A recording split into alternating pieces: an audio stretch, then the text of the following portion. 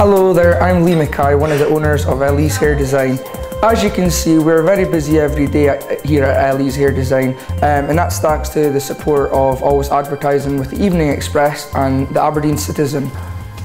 Since opening a year ago, we have done a lot of advertisement with, through other agencies, but the Evening Express and Aberdeen Citizen has been proven to be the most popular support from clientele reading the paper.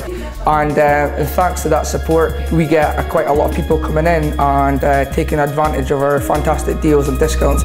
I personally recommend advertising with the Evening Express and the Aberdeen Citizen as it's proven to be a key factor in our success over the last year.